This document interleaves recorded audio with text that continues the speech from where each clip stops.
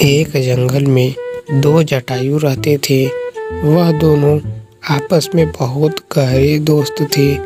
कुछ ही दिनों के बाद नया साल आने वाला था। यह दोनों सोचते हैं, यार दोस्त, नया साल आने वाला है। हम लोग ऐसे ही रूखे सूखे नया साल नहीं मनाना चाहते हैं।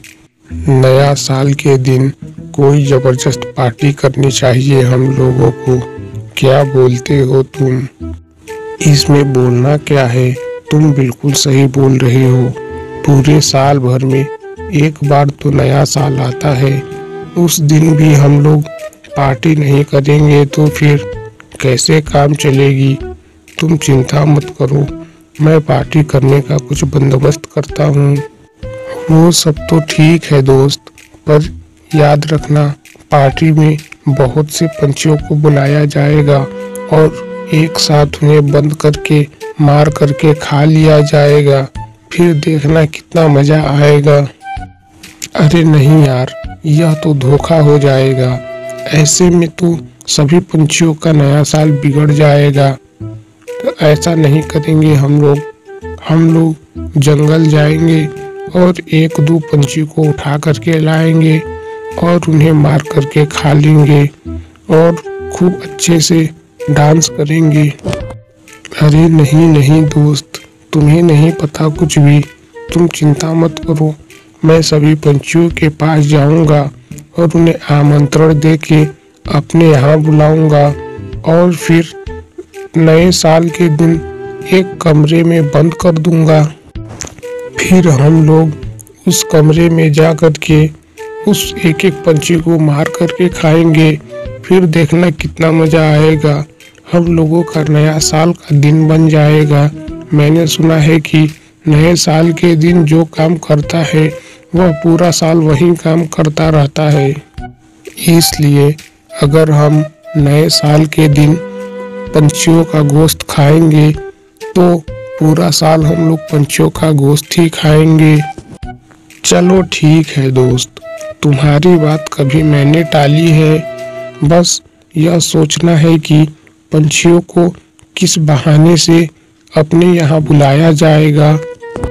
तुम चिंता मत करो, मैंने यह सोच रखा है, मैं सभी पंछियों के पास जाऊँगा और उनसे बोलूँगा कि हम लोगों के यहाँ नए साल का बहुत खतरनाक पार्टी होने वाली है।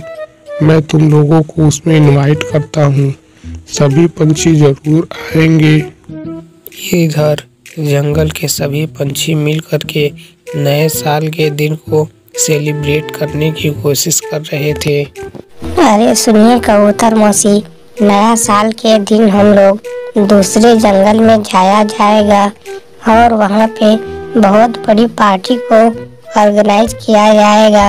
हम लोग सारा रात वहीं पे रहा जाएगा। मैंने सोचा है उस पार्टी में जंगल के सभी पंछियों को बुलाऊँगी और खाने पीने की हर एक चीज़ की व्यवस्था होगी। नहीं नहीं, तुम ठीक बोल रही हो। मैं भी कुछ ऐसा ही सोच रही थी।